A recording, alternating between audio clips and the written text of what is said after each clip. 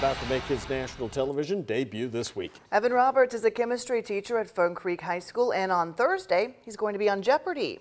JCPS says he has always been a big fan of trivia-style games and has watched the show for years. He actually first applied for the show more than two years ago, and he did that through an online quiz. He was then asked to do a couple of more quizzes, a Zoom interview, a mock episode, and then he got the call. You got to kind of accept there's going to be a category or two where you're not going to do well on. And so don't let that frustrate you and just kind of focus on what you can do. Roberts flew out to Los Angeles three weeks later to tape the program. That happened back in January. And since then, he says what happened on his episode has been a hard secret to keep. But you can find out how he did coming up this week on March 31st.